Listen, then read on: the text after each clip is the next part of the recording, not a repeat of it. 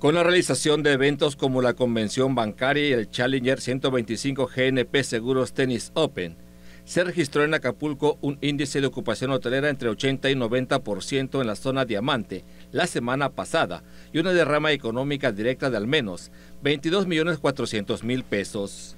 Durante la convención bancaria, el puerto recibió a los principales banqueros de México, con una participación estimada de 2.5 mil personas entre congresistas y acompañantes. La elección de Acapulco como sede de la 87 Convención Bancaria, organizada por la Asociación de Bancos de México, destacó el resurgimiento de este destino, que además recientemente fue sede del Tianguis Turístico México 2024.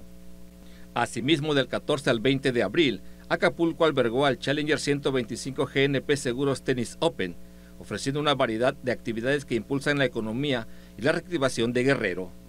Con la realización de estos eventos, Acapulco demuestra su renacer y la capacidad para atraer turismo, lo que genera un impacto económico positivo, consolidándose como un destino en constante recuperación. Les ha informado Hugo Sandoval Alcaraz para RTG Noticias.